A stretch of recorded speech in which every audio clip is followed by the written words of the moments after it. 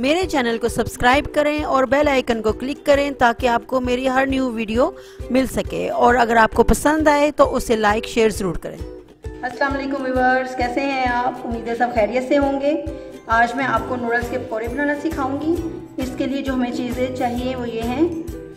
एक कप भर के मैंने बेसन लिया है। Salt to taste quarter teaspoon मैंने बेकिंग सोडा लिया है। वन टेबल स्पून मैंने रेड क्रश चिली ली है टू टेबल स्पून में बॉयल चिकन लिया है श्रेड किया हुआ। वन टीस्पून मैंने सोया सॉस लिया है वन टीस्पून मैंने सिरका लिया है हाफ़ शिमला मिर्च ली है हाफ़ गाजर ली है और हाफ़ कप मैंने बंद गोभी लिया है। एक पैकेट मैंने नूडल्स को बॉईल करके लिया है। एक मैंने ग्रीन चिली ली है, और इसका ये जो नूडल्स का मसाला था, वो भी मैं बीच में ऐड करूँगी। आइए इसको मिक्स करते हैं। सॉल्ट सॉल्ट हम कम ही डालेंगे क्योंकि इस सोया सॉस में भी नमक है और इसके मसाले में भी नमक है। ये हम चख लेंगे बाद में। बेकिंग सोडा क्रश चिली, इसको हम अच्छी तरह मिक्स करेंगे।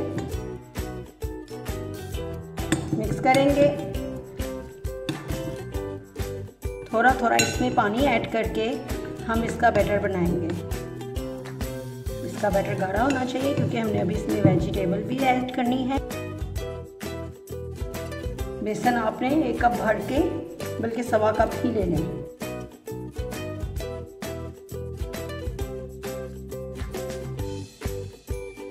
अब मैं इसमें सब्ज़ी ऐड करूँगी। बंद गोभी डाली जाए। शिमला मिर्च, गाजर। चिकन नूडल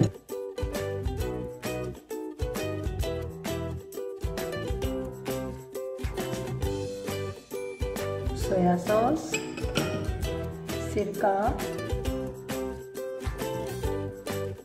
ग्रीन चिली और जो इसका मसाला था नूडल्स का, मैं वो भी डालूँगी। अब मैं इसको हाथ से मिक्स करूँगी। और आपके वॉश होने चाहिए।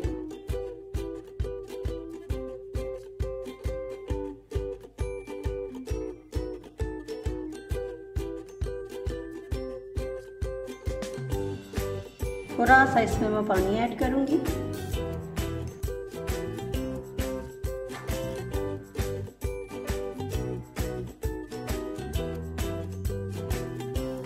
अब मैं इसके पकोड़े बनाऊँ। मीडियम फ्लेम पे हम इन्हें बनाएँगे। आँच तेज़ नहीं होनी चाहिए।